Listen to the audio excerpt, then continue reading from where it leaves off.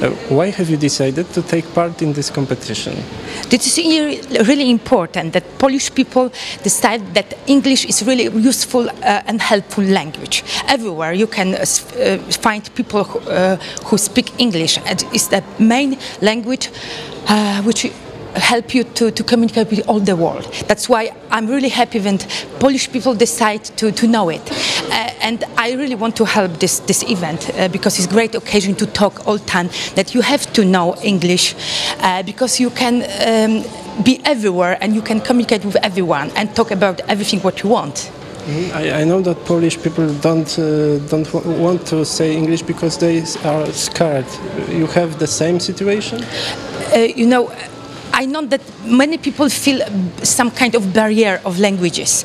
And I know that in Poland uh, we have a bad habit that in uh, Polish school every time uh, um, uh, is big pressure on the rules, grammar rules.